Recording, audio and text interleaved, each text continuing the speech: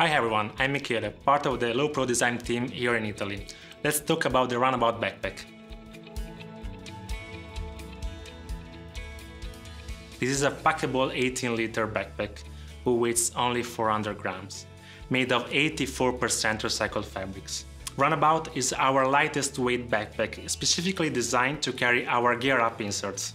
It has an ultralight mesh harness with stretch binding so that can be extremely comfortable for many shapes and sizes of people.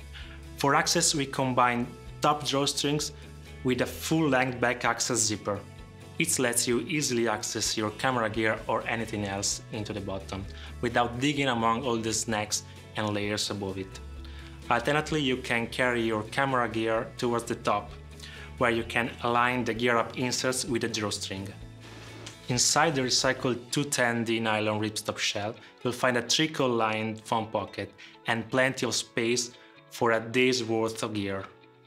Moving to the outside, these two exterior side pockets will carry water bottles and tripod, while the shock cord compression keeps things in place. These cords can also secure your trekking poles along with the webbing loops in the bottom.